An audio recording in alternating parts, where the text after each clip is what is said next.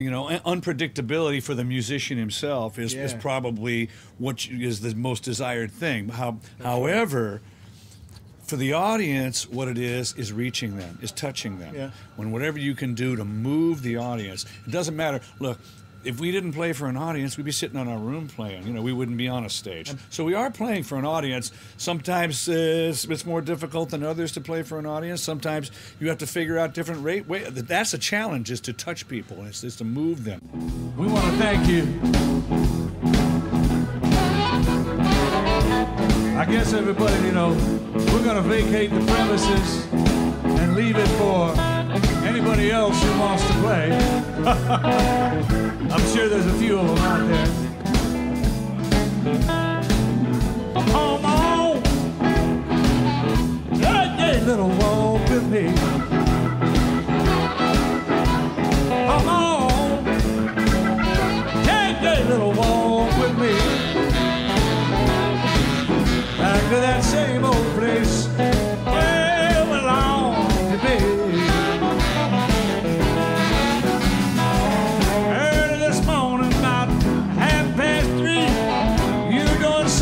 Something